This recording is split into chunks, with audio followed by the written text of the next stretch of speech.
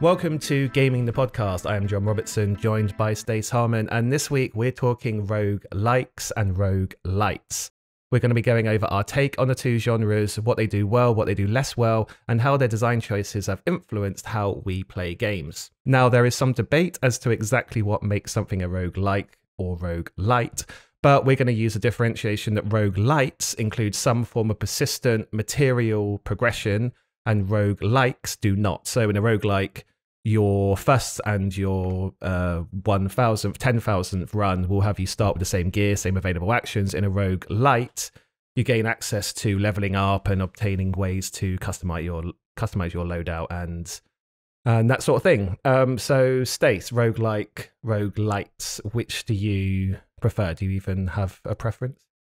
Um, well, I do. I, I prefer roguelites. Um, and it has I think, quietly become one of my go to genres without me being fully aware that I'm seeking out those kinds of games, uh, which perhaps speaks to something you've just alluded to about how they've influenced um, many other genres as well, and how there are many other kind of roguelite elements and roguelike elements in other in other games too. But yeah, when I look at my anything Steam stats or PlayStation game stats or whatever it is, like there's a lot of games on those lists that feature 100 plus hours of play that fall into one of those categories. So mm-hmm. games like Spelunky and Returnal and Hades and Slay the Spire and FTL and Dead Cells and all of these games, they frequently are at kind of the top outside of maybe strategy, specifically Civilization, really. Those are the games that kind of occupy the the highest play times um, on mm. almost any platform that I own, Switch as well.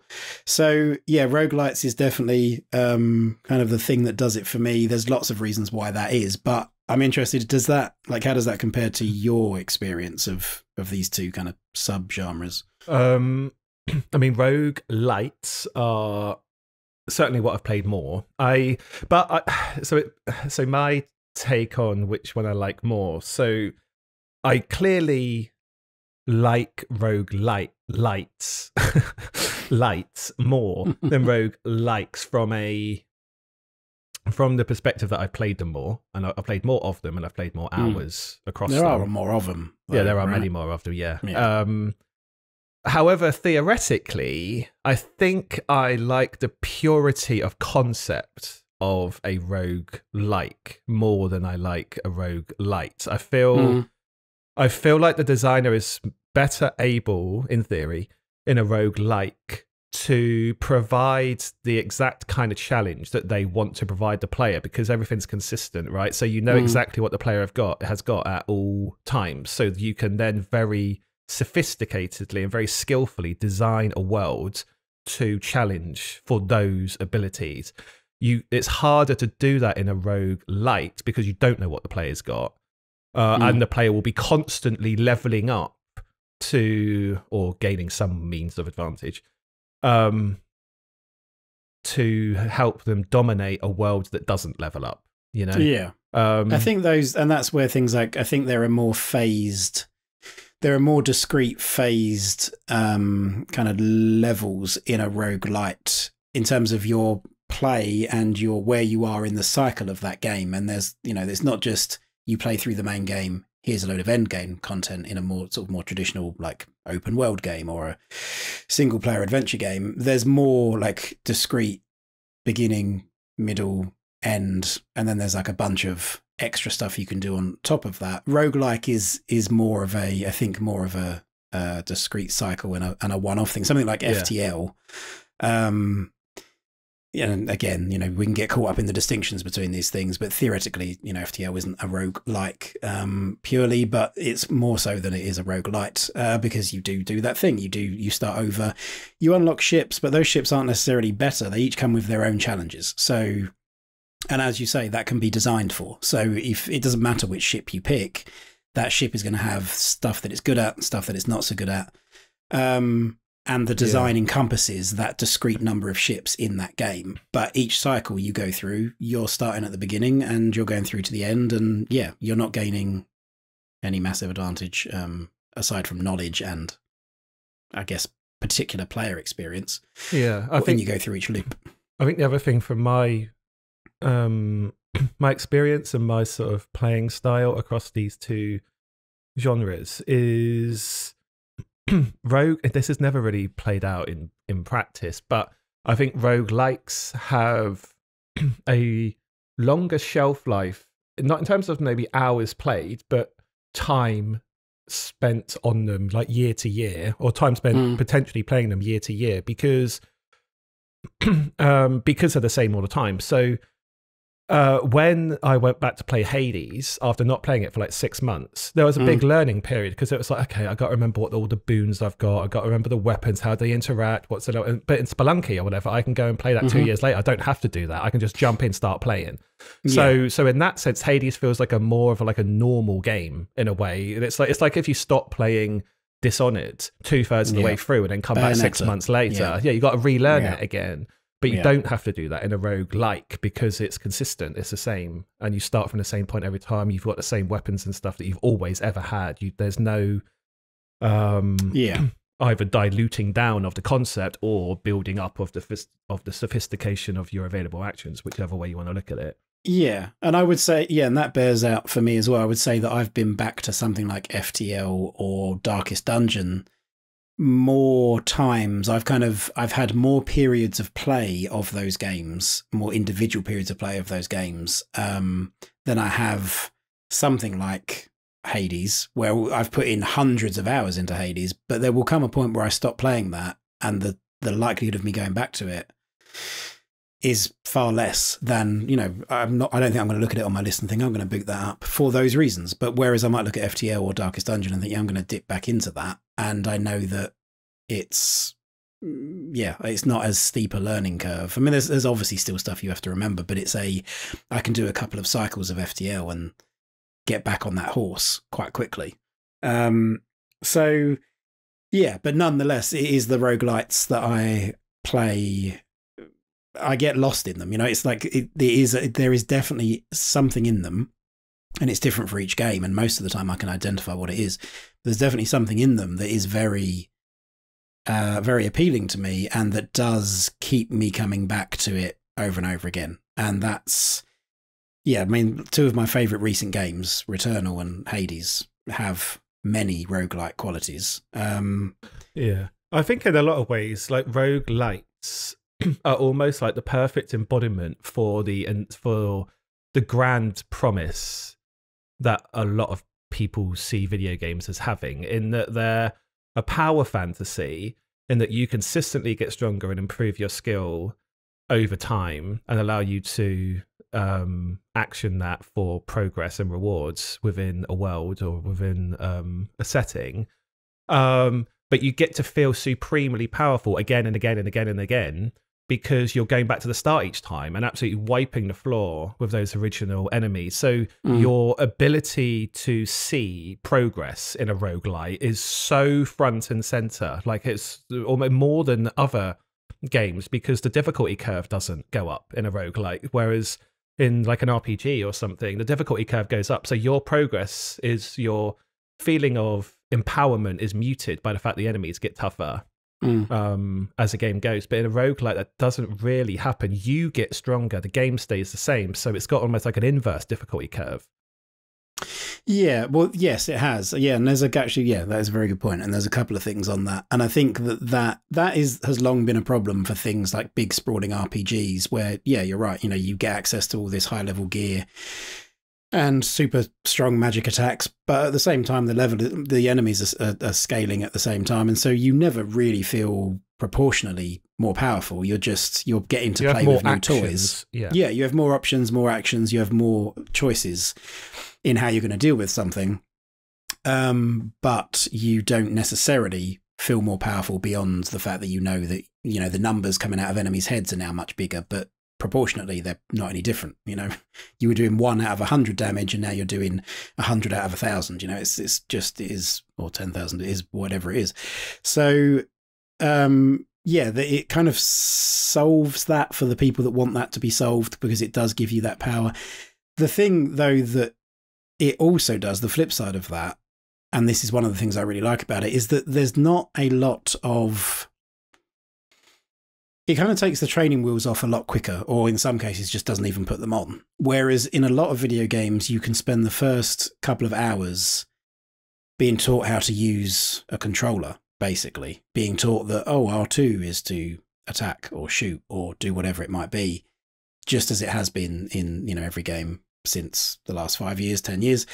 Um, in a in a roguelite, it's like they deliberately don't tell you stuff. It's there's a you're going to learn how to do this. Yes, this button is attack.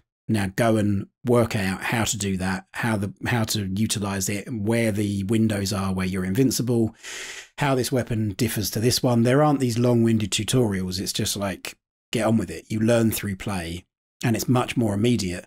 So whilst the longer term difficulty for the start of the game goes down because you do see it again and again and you get more powerful, the that initial thing of it's just it often feels quite refreshing to me. It's not I don't have to go into this VR training room to learn how to play this game. It's just go go at it. Like you're going to learn. Yeah. You're going to die, but guess what? That's okay because we've designed dying into this game. That's like this perennial problem of death in video games is like we're using that yeah. in the best examples, we're using it as part of the game. So yeah. So do you think that? Yeah. So you think it's that then that that it is part of the core fundamental of the game rather than, or is it a case that these genres tend to be aimed at more hardcore people, so they can get away from having the very mainstream, you know, cyberpunk, Assassin's Creed style tutorials, which might be someone's first ever game that they've played. So they need to account for that. Whereas a roguelike yeah. probably isn't going to be that.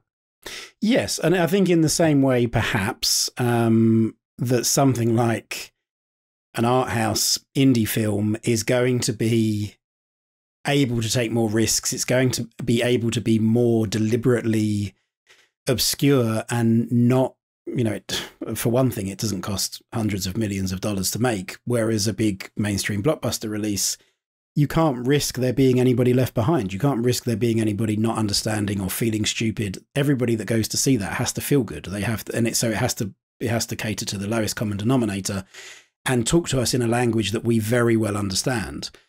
But the problem with that, I mean, there's a place for all of those kinds of things. But the problem with that for me is that it it's not often a a conversation to carry on this analogy that I'm that interested in having because it's like, well, I, I want I want things to be a bit prickly, you know. I want things to I want to have to go through this a couple of times. In the case of films, sometimes I want to have to watch them. I don't need it tied up at the end with a big bow. I want to watch it again and to see those things that I didn't see the, the first time around. And in the case of games, yeah, just let me go at it and, you know, either I'll work it out um, and probably gain tremendous satisfaction from it, or I won't, um, and it won't be for me. But that's okay because you don't need to, you know, grab every player that you you um, are exposed to because it's not it's not that kind of product. It's not a, well, perhaps it's not a product. Full stop. It's a uh, an artistic expression. I mean, that's a whole, a whole other thing, you know. Um, so yeah, so I do, yeah, I do think it's it's that it doesn't have they don't have to appeal. They can be, yes, they are perhaps for uh, I don't know if it's like hardcore. I don't know. The to phrase it a different way, then would it yeah. still be a would it still count as a roguelike road like if it did have those tutorial elements and it was aiming to a much fresher, more um lower experience level gamer would it still I mean, it, be a road it still would yeah but because there, uh, there's ways around that or well, not around it but there's ways to accommodate that and uh griftlands does this really well the card battler um, because that uh, up front says, "Do you want to play this?" Which is the introduction, and this is going to tell you how to play these kinds of games. And if you're not familiar with these kinds of games, we strongly recommend it. Or do you want to skip that and go straight to effectively the meat of the game? So it's, it's a, a, different section of the game. It's like a yeah, module. It's just a, be... it's like a thing that's yeah, exactly. It's a thing that's been bolted on the front, and that you know you might still feel like, well, I want to, you know, I want to kind of uh, indulge in this world. I want to kind of luxuriate in this world that's been created that I'm interested in. So I'm just going to play it from the beginning and see that introduction. But you can just say, no, it's that's cool. And you know, I've played 200 hours of Slay the Spire. I'm I'm kind of set for for card battlers. Um, let me just get on with it. So it can absolutely have that. It doesn't need to be obtuse. It doesn't need to be deliberately. Um, you know, it doesn't need to be to the exclusion of people at all. Um, no, I'm trying to think of other. I mean, Monster Train is another one. Mm-hmm. Uh, I believe at the start of that, you there is a tutorial you have to go through, but it, but it's just like your first run. But it just includes some some notes on. Have you played that? There's like three levels. Yeah. Yeah, and I think at the start you it does say this is what this is what this level does, and this, but but it's very Yeah. brief. Yeah, and it's the- not the like it's not like a pulled out tutorial, like a No, for sure. VR style tutorial. and the absence of a tutorial is, is not you know it, or the inclusion of one isn't isn't for me a deciding factor in and of itself but the it's the freedom to not have to spend x number of hours it, you know if you're looking at a more linear a to b uncharted type experience you don't need to spend the first couple of hours of that 15 hour experience teaching people how to do stuff um, because because in that case you die and that's a problem. That's an obstacle to progress. You die and you have to redo the stuff that you've done to get from a to b. In roguelites you know in returnal you're going to die. I mean the clues you know not the clue but the, the the name of it for goodness sake. Returnal like you're going to die you're going to return you're going to go at it again and again and again.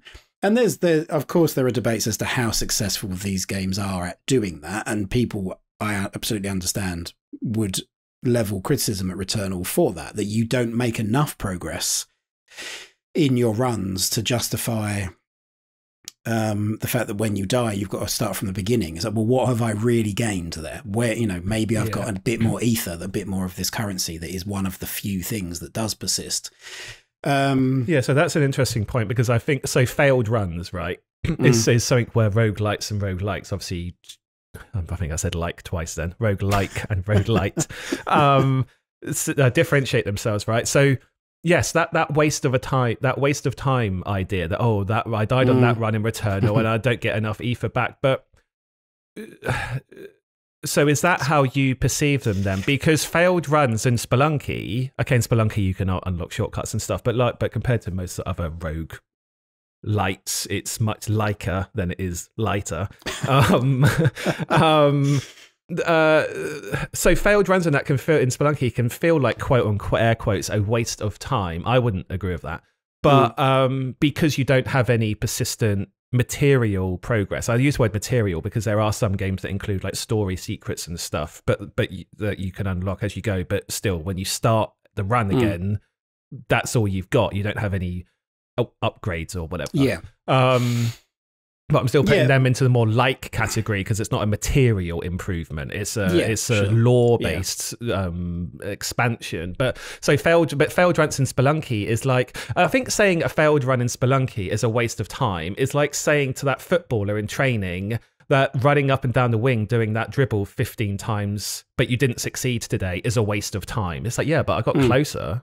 Yeah. Like Yeah. so practice and failure are a means to improvement in those Yeah. games rather than um you know 10 10 xp or a new weapon Well, it's it's a matter of perspective, isn't it? And it's funny that you yeah that you phrased it that way because I was thinking along those lines um, earlier today before this podcast. I was thinking about like that very uh, that very cute quote that, depending on your frame of reference, could either be Einstein or might be Vaas from Far Cry Three, who says Oh, the common, definition commonly um, compared put in the same put in the same box. The definition of insanity is doing the same thing over and over again and expecting a different result. And it's like, and there's we have there's lots of us that will look at that and go, oh, yeah, I really I get that, I understand that, it really speaks to me. But that's a matter of perspective because you can say the exact same thing and say, well, from a different perspective, doing the same thing over and over again and expecting a different result is just called practice. It's just doing something to practice at it, and at some point you will crack it or you will make Yeah. that progress. as long as So- you got your technique down i suppose and you just keep practicing because if your technique's wrong and you keep doing the same thing then you're not going to Well, but you might find your own way. You know, like it does. It Might depends. you know, it's yeah. it's specific. It depends on what you're talking about. Sure, in- where there's a binary right wrong kind of thing. Sure, but so and that linking it back to the failed runs thing. I think even. I mean, it's failed. I suppose in what sense are we saying it's failed? It's failed in the sense that you haven't got to so the you end. haven't quote unquote gained you haven't any, succeeded. You haven't won. yeah. But but that is once upon a time what playing video games looked like, right? Like once upon a time when I played I don't know, Super Mario Brothers, the original, or Ghouls and Ghosts, you failed and you started again and you what you had nothing to show for it. You'd learn all, all you'd done. And in those cases, that's different because that's effectively rote learning. You're just trying to learn a pattern. You're just trying to get to a point of I understand exactly what's going to happen at this moment, and I just need to remember to do this instead of X. I need to zig instead of zag. Um, but that thing of doing something over and over again, like you, you wouldn't. That wasn't called a failed run in you know original Mario. That was just that was just playing the game. Failure. It was just, that was just how you played the game, and that's changed a lot. You know, Mario has become more of an A to B kind of adventure in the sense that it's incremental progress and you stop playing at a certain point and oh look we've got save games now so you don't have to go through the whole thing in one go yeah Um, so i was going to say so it has so roguelikes likes are um they're basically arcade games but you don't put coins in anymore well the lights plus, plus they have persistent more so. progress for like yeah, I mean, lights is like yeah, they're more like perhaps sort of modern like arcade games, you know, particularly in Japan, where you have like a you know a little card or a memory stick thing that you take in, and that's where your progress is. You plug that into Yeah. the machine, you put your money I in, and then it picks up where you left off, or you're leveled up, or whatever it is. So Yeah, I suppose the Um, difference there is that arcade machine and stuff are the same. All those old games that you said are the same every time. Like not, there's no random element to them. There's no procedural No, for sure. generation. And the they're not- enemies are the same. yeah, they're not like, roguelites or, or or likes in that sense. But it's just going back to that notion of what a, what failure is, what it, a failed run looks like, and it's like, well, that's just how a lot of us played games. It when we didn't consider it failing, we just consider it. You know, you didn't expect to sit down and finish a game like that. I think you'd be disappointed if you did sit down and finish Mario in one sitting and be like, oh, okay, great. I've seen everything there is to see on on that one. You you die you go back you get better you learn you you know you keep playing and then you perhaps look start looking for secrets and and all the rest of it.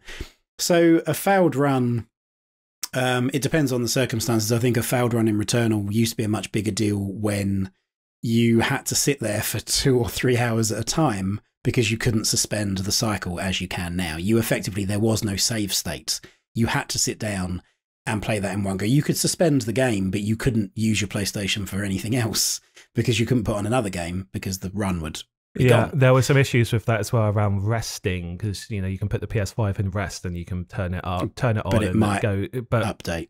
well, yeah, and, Yeah. and early, uh, suppose I didn't have this issue, but there was some issue with the PlayStation supposedly on putting it into rest state, and it would just turn itself off anyway at some Yeah. point, and then people Yeah. would turn it on, and it's all gone. And Yeah, and that's you know that's going to be a killer. So there's like surrounding environmental factors that can make things hurt more. It can make it sting more when you you fail a run or you you know you've something happens that means your fun has been interrupted. Something as uh, external to you has has happened that means it's it's all gone. Um, So what about so you played more rogue lights than me. So what's so given that I would argue that rogue lights have by definition an end, right? Like so in the sense of Yeah. that they because they begin giving you things and then at some point they stop giving you things, it has ended at that point. So then you can, of course, keep going in and do keep going run run after run, mix and match your abilities and items and whatever you want to do. mm, Um, but because they've started giving you things and then they've ended giving you things, the game does seem to end at that point. And it's up to you. You can carry on as much as you want, just like you can run around the world in, you know, some open world RPGs. But the game's over. yeah, well, yes. I mean, there is an end to Well, but well, I guess it's because they start giving you progress and then they stop your progress. yeah. There's an end. So, okay, so for me, one of the things that's the most appealing, I think, about roguelites is that, uh, yes, there is an end. So there will be end game content that effectively. So let's take like Returnal or Hades, it applies to both. As an example, but in Returnal, the end technically, I mean, initially you start off thinking the end is to get through the first three biomes and it's you beat a boss and you're like, oh, I've done it. And then biomes four, five, and six open up and then you can choose whether you start and do one, two, and three, or four, five, and six. You can't do one to six. Uh, whether they'll patch that in at some point, I don't know. It seems like something they could. The problem with that is that the progression you've made in one to three, if you had that carry over into four to six, arguably you'd be too powerful and all the rest of it. Um, but the game then kind of morphs and changes, and your expectations change with it. And then you finish four to six, and then there's these fragments that you need to find in each biome. So then you go back looking in each biome for these particular collectibles. And then once you found those, you need to complete the game again to get a different ending. And all of this, the point of all of this is that the game, for me, does a very good job of changing the conditions of the test, changing your focus, giving you a different way to play the game, giving you a different way to look at the environment. So you start with like trying to just get through it and survive. And you get to a point where you're no longer thinking about that stuff. Like you're good enough that you're going to survive. So then you're looking for specific things. You're thinking about the biome that you're in. Where might such and such hidden thing be? Okay, I'm going to kind of do a run where that's what I'm, that's very much what I'm focused on. You get to the end of that. There's then, you know, things like collectibles, as in glyphs or data entries or stuff like that. But all of that, even when all of that is over and you've leveled every single weapon and you've done all of that, because there's been this constantly evolving way that I've been, my relationship with the game has constantly evolved and I've looked at different things throughout, it makes me more likely to come up with my own conditions for the test. It makes it more likely for me to come up with self-imposed, self-imposed things of like, well, perhaps I'm going to try a speed run. You know, perhaps that's the thing that I'm now going to do. I'm going to choose to turn that timer on on the screen and have that show. And I'm going to set my own goalposts. And you can, of course, do that in any game. Yeah, I was going to say, but, why would you be more likely to do that in a roguelite rather than a rogue like? Well, roguelite or like, but the but the it's that versus other types of games where a light is constantly changing its focal point, whereas a game like The Last of Us is not. The the last, you know, which I also love, and I'll play through that but I'm getting a very different thing from it. So it makes me more likely. I'm not really interested in going through The Last of Us and like trying to take no damage, for example. That's not what that game is for me. Whereas it's a thing that I would consider doing in a Returnal or a Hades. The game doesn't ask you to do that. It doesn't give you any reward for doing that. But it's done so well at shifting its focal point and saying there's many different ways to play this game that I'm more likely to find fun in doing that than I would in in The Last of Us. The Last of Us, I would feel like, okay, I've done that. Um, but what? Okay, so know. what about like a middle ground game then, like Dark Souls, where it's got a lot of rogue lighty elements in it, but it is also has a grander structure that's more similar to a more traditional video game, with a start, middle, and end, various bosses, and end to the story, like Last of Us has. Yeah, that for me, I would lean more towards like the Last of Us in the way that I play that. I would go through it once, and I know in like Demon Souls, for example, the the remake, well, and the, of course the original. There's a whole bunch of new game pluses. It will recognize that you've been through the game, and then you'll get new game plus and new game plus plus and etc. And it will recognize each time you go through it. But that for me, I go through that game, and I'm kind of done with it. Um, yeah, I think that in those games is mainly a level scaling thing that because the enemies mm. in Dark hmm. Souls mm. and Demon Souls stay the same level until you go New Game Plus, and yeah. so so you'll out level them, and you need to you need to be you need to have a new uh, threat basically. Yeah, and so I think it, there's there's that. It just like my my relationship with these games evolves with both likes and lights because it happens with likes as well. You you the thing that evolves is you. The thing that levels up is you. Um, but it has like a it has like a Maslow's hierarchy of needs structure to it for me that other games don't have that you like you start being very focused at the very bottom of the pyramid, pyramid on a particular thing and that is just surviving. That is just like getting to a point where you your needs have been met and you you have got enough health. You've picked up you know a new weapon. And you, it gets to the point where you can do that stuff almost you know, blindfolded. You've got all of that sorted out. And so then your focus, your motivation shifts elsewhere. And it becomes about, well, I'm going to dig into this thing and maybe I want to I want to achieve mastery over it, or maybe I'm going to go digging into the the secrets of it.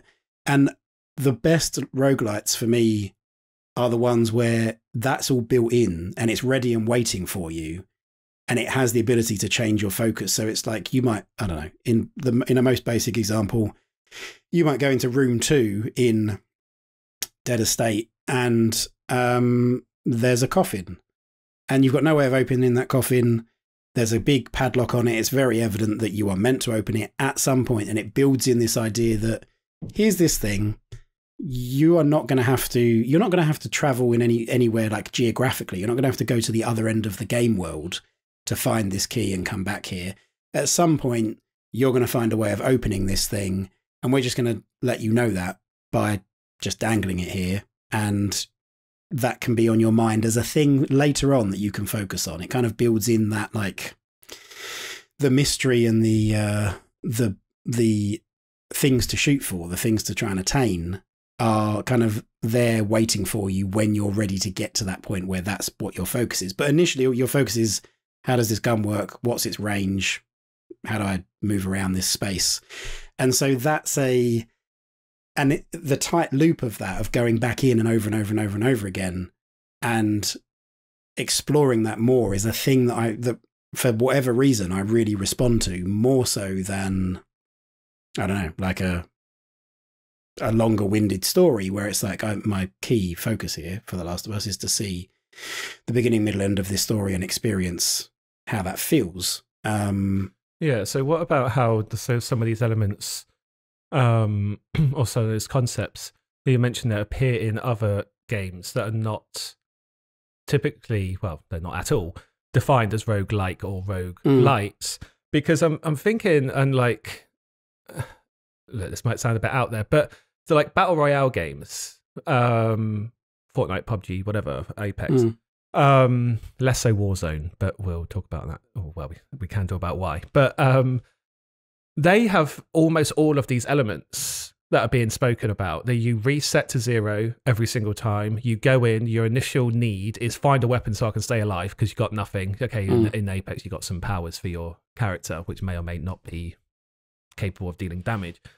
Um, and then you're slowly working through the map, um, being careful. And I know it doesn't have the procedural generation; the map is the same every time. But on a conceptual level, you're still in a randomized environment because the enemies that you're going up against will do completely different things every single time. They there'll be a different uh, mix of certain characters in there, so there's stuff you have to watch out for is going to be different. People can be attacked from different angles, and um, all this time and there's and they're even i guess they're more rogue like than light because there's no progression yeah. that's consistent yes you level up and that's consistent level up but it's just cosmetics you just unlock cosmetic stuff you can unlock yeah. new characters which give you new abilities um, but that's no different to like nuclear throne where you earn you unlock new characters with new abilities and everyone mm. no one disagrees that that's not a rogue like um so i wonder what the I wonder if the how how meaningful some of these definitions are now that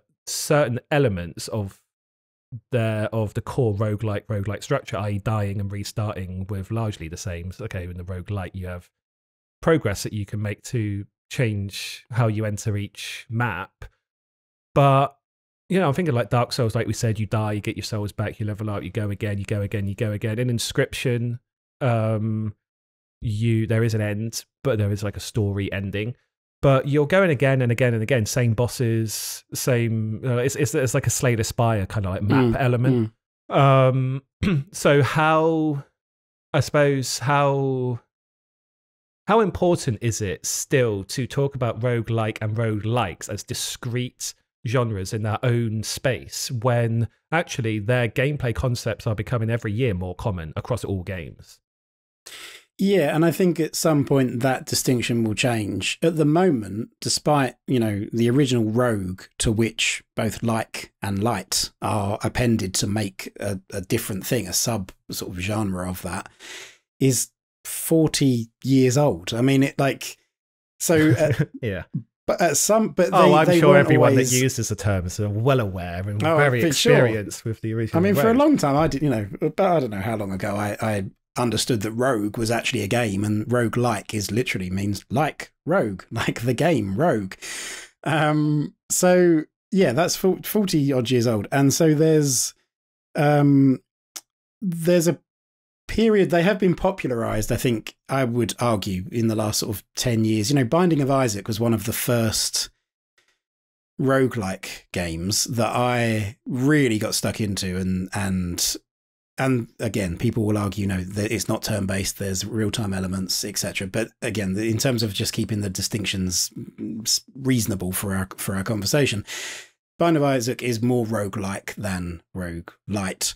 Um, and that's a game that I played, you know, 100 plus hours of easily and really got stuck into. And I think that's one of those kind of, of the modern style of rogue likes and roguelites. That's one of the sort of the, the forefathers several generations removed from from the original rogue but it's still a you know in the modern gaming landscape it is sort of the one of the the originators of yeah. this popularization and, and, effort yeah and i would say so i played binding of isaac but not a huge not a huge amount by any means the one that i played a lot of is rogue legacy and i would say rogue legacy is arguably the first roguelite because I can't, I don't, I can't, or at least it popularized it. I, I don't know if there's another example of a Roguelite game coming out before Rogue Legacy that was so that was as anywhere close to as popular as, as that, and included very obvious persistent upgrades, like you upgrade your castle mm. and stuff.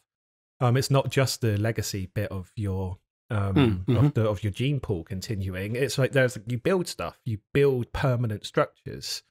Um, yeah. So and so these games have popularized this thing that we still refer to as roguelike and roguelite. And I think they're in the same way that we don't call things shoot 'em ups anymore. You know, like the the genre has persistently evolved over decades and we now have more nuance and more established examples of different types of shooters. And we don't, you know, who, yeah, you're talking about oh, first person, first... yeah, because because shoot 'em ups is still I mean, used for yeah. like top down Japanese. Sure, and so it's it's evolved to, or perhaps that bit hasn't evolved. Perhaps everything else has evolved, and that that has retained that thing. But and in that instance, a bit like with roguelites, I think at the moment, in that instance, there's an element of well, what else would you call it? Like, we all understand what that means. We all understand that that refers to a specific type of shooter. So, why bother changing it? Yeah. Like, that's it's what it just, means. It's a convenience of language rather than an Yeah, it's like, what are you going to call?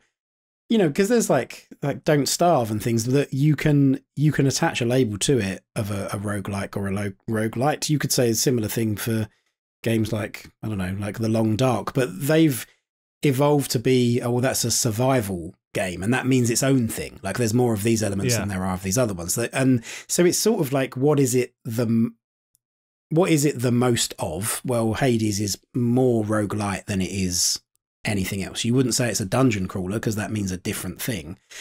So or you know sort of popular parlance it means a different thing. So i think that those words those labels are still useful to establish this is what we're talking about, but there are their own distinctions each yeah. time, and they do have their own. You know, Hades and Dead Estate are not.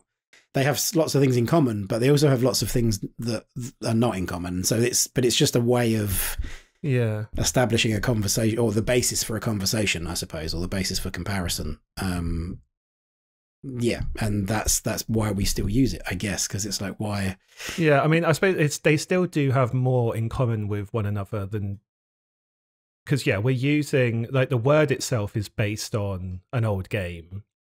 Um uh, rather than like i don't know what what what would be the equivalent like around today like um that's a that's a wolfenstein like to like talk about like yeah. a, a, certain kind of like corridor shooter, you know, or like mm-hmm. that's a um well we we have the word beat 'em up don't we for beat 'em ups but you know i'm trying to think of other i don't know um that, that you get it all in uh, across all the video games right like genre definitions are not very helpful a lot of the time because like horror can can like you know yeah. that that can be so many different things and like darkwood is nothing like Outlast or whatever. Yeah. Like they're complete. They're yeah. two completely different things. Or even racing, like Need for Speed and iRacing. Like they, like the, the the kind of things that you need to engage in to be good at those games mm. bear no resemblance really to um to each other. So I wonder if the problems that we're having here around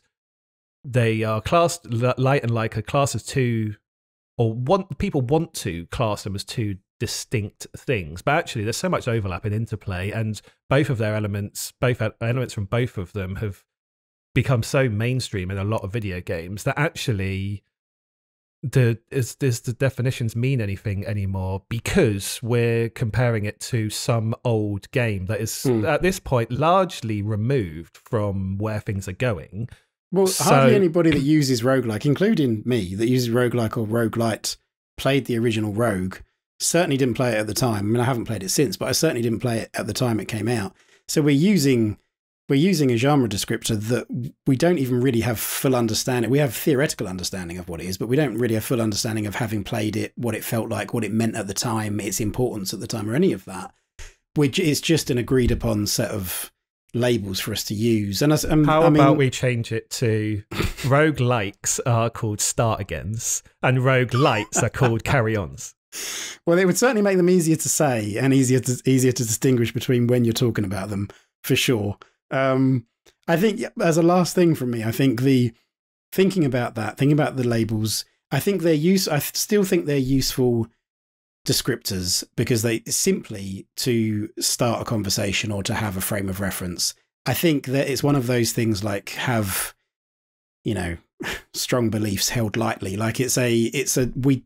I, I don't see the benefit or the importance of getting tied up in knots arguing about the distinctions between the two and oh no that game isn't that and here's 10 reasons why and why you're wrong and probably stupid and all the rest of it. It's like we can just use it as a as a way of like talking about these things rather than distinguishing you know setting boundaries. Um because ultimately that's what a genre is isn't it? Like it's a collection of things that are more like each other than they are like other things. But that doesn't mean there can't be great there can't be great shades of distinction between that that group. There's still things on this side of that group or this side of that group that are very different and unique to themselves. It's just that they're more like each other in this little bubble than they are like that bubble over there which we're calling shooters or whatever. Like it's its own genre. And surely that's really the only reason to label them anything so that we can then have a conversation about it. Oh, what Yeah, kind of I- game is that? It's the it's, it's it falls into the genre of horror, and then it's like oh, okay, let's dig deeper and find out actually what it is, you know, itself rather than what it is at the at the top level. Yeah, uh, I think where this is where yeah, and the reason why these two are difficult to talk about in that um, in those genre terms is because uh, more than other genres, they are so so so similar. Um, so Mm. so because they're so similar, uh, like is it worth even defining them as so, as certain as different genres? And I think on the horror thing as well. I think actually horror isn't a genre, is it? It's a theme. It's a horror. It's it's a it's a genre in movies, Mm. but it's not. A, I, I wouldn't say that horror is a genre in video games. It's a thematic. It's not like Outlast is an action game. Dead Darkwood is a survival game. That's Mhm. really what their their their genres are. Um, so then having two such similar genres as being distinct from each other um i don't know what that does to the conversation does it mean that okay well let's just all talk about let's only talk about rogue likes now because we're talking about that genre now and then after and tomorrow we'll talk about roguelites but it's actually is it is there a point to that whereas actually they'd be better served by just having them as one genre that can all be spoken about even though they're not the same genre? In in sort of the discourse of how we talk about genres Mm. is it meaningful to have two genres that are so similar but discrete whereas we don't do that throughout any other genres really like first person Yeah. shooters are still all first person shooters. Like even though nowadays you might say okay battle royale but then battle royale are not all shooters. So that's a different genre.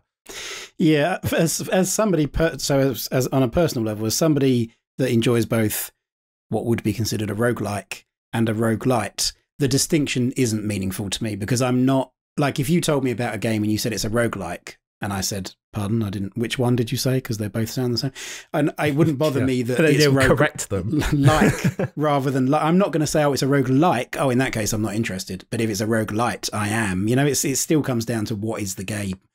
Um so yeah, I mean it's not I think if you if you like like I do, it seems if you love this sort of game, these sorts of games, they do offer something that other genres don't offer to me. Like I, I will sit down and really want that that you know the RNG of it, the whole randomization of it, the procedurally generated element of it, um, is a thing that I I relish. There are examples of it being done badly and poorly and even lazily, where it's just relied upon that you're going to die and you're going to go back in. And there are, you know, we don't need to get into the sort of the bad examples of it um, to name names, but there are because there are so many good examples that that doesn't really matter. But I do understand why some people will roll their eyes and say, "I'm sick and tired of roguelites." So I, you know, it's just it's been done to death. Yeah, I get my fill of them. I tend to be I tend to have had enough of them at a certain point, and then I won't play them for like a month, and then I can come back mm. again. But that depends if I've been playing it. Like I was binging Loop Hero. Uh, it was like I once I'd finished playing that, I was like, okay, I'm not playing a game like that for like two months now. um, yeah, or whatever. And now I've come back to Spelunky, so I guess here's a final thing from me. I start, I've been playing Spelunky 2 I'm rubbish at the game. I ain't ever going to complete it. I'm just not. But so on like a on like a material level, I wish it was a roguelite. But on like a theoretical level, it's like I'm happy with the way it is because yeah. maybe maybe in two years' time I'll go back and I'll start playing it again and I won't have to you know start a new game like I would on Hades or whatever. I just okay, yeah. Can I do it now, or can I be bothered to practice enough to be able to do it now? Yeah, I want, I do, and uh, okay, and as a final thing for me, because we really are out of time, I wonder how much, and maybe this is a spin off thing, but I wonder how much this speaks for us personally, for you and I personally. I wonder how much of this speaks to the way that we play games and what we want from games. That I something really appeals to me about some about just one thing that I can go really really deep on to the exclusion of other stuff, you know, and, and perhaps to the there's a to the detriment perhaps of other stuff whereas you're more of a you prefer to like experience lots of things to a well to a less deep level in in the sense that it, you just you're spending less time on it. It doesn't mean you understand it any less, but it just means your experience of it. You don't want that deep an experience. You don't want to keep going on the same thing. Whereas that is something that really appeals to me. And maybe there's a, you know, the way that we play games is perhaps a different, a separate conversation. Or it is a separate conversation. it is a separate conversation. Definitely. Because we're over now. um, yeah, I mean, I guess I like to, once I understand something, I want to understand the next thing, you know? Mm, like mm-hmm. that's kind of. Mm-hmm. Anyway, we are out of time. Um, so thank you for listening. That was Rogue Like, Rogue Lights. Uh, you can get Please involved like and subscribe. You can like, like. and subscribe on our Twitter. we are yeah, uh, yeah. So you can go to our Twitter. We are at Indie by Design. You can uh, also find the link to our Discord channel there. We are at Indie by Design on all social media networks. So uh, get involved, follow us, come talk to us, come talk to us with us about rogue likes, rogue lights, what you like about them, which is your uh, favorite genre. Are they even two different genres? Uh, and as ever, you can go to indiebydesign.net where you can find information on and buy uh, all the books we make about video games. So, thank you for listening, and we'll see you again next week.